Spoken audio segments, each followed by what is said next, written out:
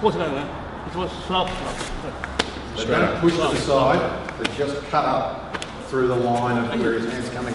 His hand's coming from his, his shoulder line into your centre line, so you've already got an angle to cut it. So just cut it with that straight arm. Come on, come on.